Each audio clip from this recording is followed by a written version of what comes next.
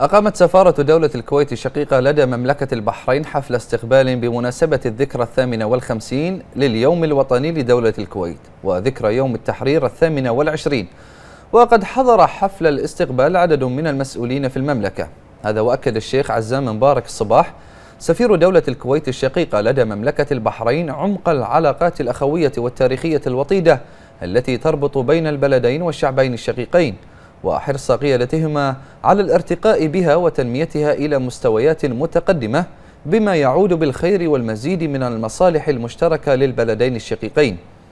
كما أشار الشيخ عزام مبارك الصباح إلى أن مشاركة مملكة البحرين لدولة الكويت أفراحها باحتفالاتها الوطنية تأتي تجسيدا لخصوصية تلك العلاقات الأخوية المتميزة بين البلدين الشقيقين.